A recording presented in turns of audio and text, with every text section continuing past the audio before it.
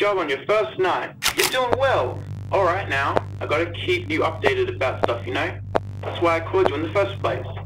Uh, first of all, the animatronics seem to be getting more active while the week progresses.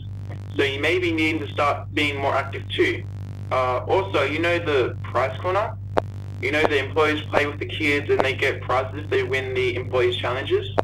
You know plushies, hand puppets, stuff like that? Well, one of these prizes is a little robot. Uh, a little robotic version of Spring Bonnie. This one has been malfunctioning recently, and the strangest thing is that this prize has been left rot. Uh, I'll explain. When the employees does the challenges to get a prize, they never use this one for some reason.